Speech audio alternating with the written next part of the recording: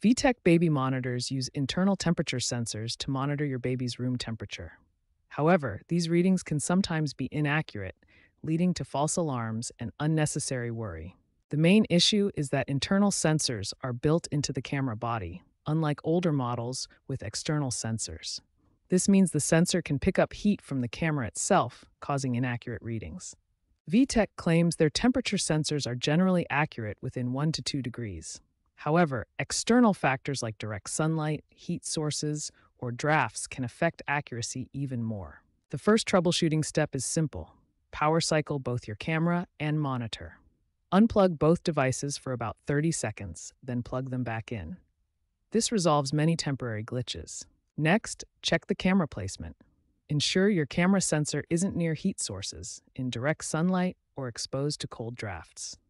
For older models with external sensors, extend the sensor at least two finger widths away from the camera body. Finally, adjust your temperature alert settings through the monitor's menu.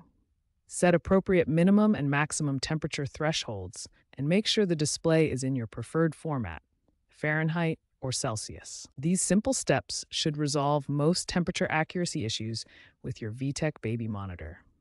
Remember that some variation within 1 to 2 degrees is normal and proper placement is key to getting the most accurate readings. When basic troubleshooting doesn't resolve temperature accuracy issues, advanced steps can help restore proper functionality to your VTech baby monitor. The first advanced step is performing a factory reset on both the monitor and camera.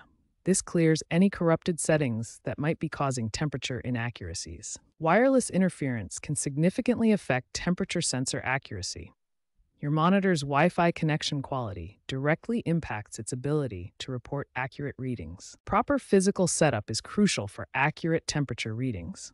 The sensor must be unobstructed and the units properly positioned to avoid interference. If problems persist after these steps, consult your user manual or contact VTech support directly.